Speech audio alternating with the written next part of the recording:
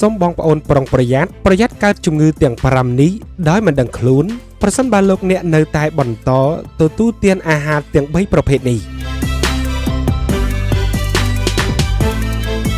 តើលោកអ្នកធ្លាប់ដឹងដែរឬទេថាតើមានពពុះអាហារអ្វីខ្លះដែលបង្កជាផលប៉ះពាល់ដល់សុខភាពរបស់យើងនោះលោកអ្នកគូតែដឹងអាហារទាំង3ប្រភេទនេះ ត្រូវបានអ្នកជំនាញណែនាំថាវាបង្កជាផលប៉ះពាល់ដល់សុខភាពយ៉ាងធ្ងន់ធ្ងរជាទីបំផុត និងអាចបង្កឲ្យកើតជំងឺដ៏គ្រោះថ្នាក់ផងដែរសម្រាប់ខ្លួនយើងទី1ប្រភេទអាហាររហ័សឬក៏គេហៅថា fast food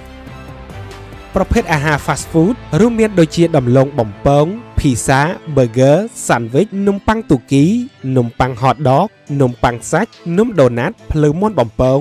និងស្លាប់មាន់ក្រឡុកជាដើម ដែលសម្បូរទៅដោយម្សៅកែច្នៃផ្ទុកទៅដោយសារធាតុខ្លាញ់អំបិលស្ករនិងកាឡូរីខ្ពស់ជាទីបំផុតដូច្នេះការដែលទទួលទានពពុះអាហាររហ័សឬក៏គេហៅថា fast food នេះច្រើនពេកនោះវានឹងបង្កើនហានិភ័យធ្វើឲ្យយើងទៅជាធាត់កើតជំងឺលើសសម្ពាធឈាមជំងឺបេះដូង ជំងឺមហារីកពោះវៀនធំ និងជំងឺទឹកនោមផ្អែមក៏ដូចជាជំងឺបាក់ទឹកចិត្តជាដើមផងដែរទី2ប្រភេទអាហារកែច្នៃការដែលទទួលទានអាហារកែច្នៃដូចជាមីកំប៉ុង ប្រហិតសាច់ប៉ាតេនំកញ្ចប់ឬក៏អាហារកំប៉ុងផ្សេងផ្សេងជាច្រើនទៀតនោះវានឹងអាចធ្វើឲ្យយើងទៅជាធាត់ប្រឈមនឹងបញ្ហាលើសសម្ពាធឈាម ការជំងឺបេះដូង និងជំងឺទឹកនោមផ្អែមផងដែរ នេះក៏ដោយសារតែនៅក្នុងអាហារកែច្នៃទាំងអស់នេះមានសារធាតុចិញ្ចឹមតិចតួចបំផុតក៏ប៉ុន្តែពួកវាផ្ទុកទៅដោយកាបូនអ៊ីដ្រាតកែច្នៃសម្បូរទៅដោយជាតិស្ករខ្ពស់អំបិលនិងសារជាតិខ្លាញ់ផងដែរម្យ៉ាងវិញទៀតនោះក្នុងពពុះអាហារកែច្នៃគឺមានផ្ទុកទៅដោយសារធាតុគីមីម្យ៉ាងដែលត្រូវបានគេប្រើប្រាស់ដើម្បីរក្សាទុកបានយូររក្សាជាតិពណ៌នៅល្អរក្សាក្លិននៅល្អនិងធ្វើឲ្យមើលទៅស្រស់ផងដែរ ជាពិសេសគឺសម្បូរទៅដោយជាតិស្ករសូប៉ានីមិតដែលអាចបណ្ដាលឲ្យយើងមានបញ្ហាអេលែកស៊ីនិងបង្កជាផលប៉ះពាល់ដល់សុខភាពក្រពះពោះវៀនរបស់យើង។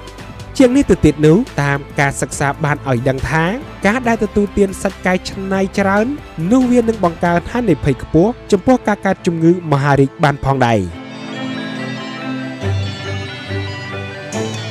ទី3ពពុះអាហារផ្អាប់ ជាធម្មតាក្រោយពេលដែលបាយថ្ងៃរួចមនុស្សភាគច្រើនតែងតែយកម្ជូរគឺជារបស់លាងមាត់ហើយម្ជូរដែលរួមមានទាំងផ្លែឈើត្រាំ វាក៏ជាពពុះអាហារសម្រន់ដ៏ពេញនិយមសម្រាប់អ្នកធ្វើការក្នុងការិយាល័យមួយចំនួន ជាពិសេសគឺស្រីស្រីតែម្ដងហើយដើម្បីបំបត្តិជាតិជូរនិងដើម្បីរក្សាផ្លែឈើទាំងអស់នោះទុកឲ្យបានយូរអ្នកលក់ភេកច្រើនច្រើនតែយកផ្លែឈើទាំងនោះទៅត្រាំផ្អាប់ជាមួយនឹងអំបិលក្នុងបរិមាណដ៏ច្រើន ដែលធ្វើឲ្យជាតិអំបិលជ្រាបចូលសពសាច់នៃផ្លែឈើទាំងអស់នោះការដែលទទួលទានជាតិប្រៃច្រើនវានឹងអាចធ្វើឲ្យរាងកាយរបស់យើងឡើងជាតិប្រៃបង្កឲ្យមានការចាលជាតិទឹកនៅក្នុងរាងកាយនិងបណ្ដាលឲ្យកើតជំងឺលើសសម្ពាធឈាមជំងឺបេះដូងពុកឆ្អឹងនិងបង្កទៅជាមហារីកក្រពះពោះវៀនបានផងដែរចែករំលែកវីដេអូមួយនេះឲ្យបានច្រើនប្រសិនបើលោកអ្នកនាងយល់ឃើញថាមានគុណតម្លៃសម្រាប់អ្នកនិងមនុស្សជាទីស្រឡាញ់របស់អ្នកនោះ។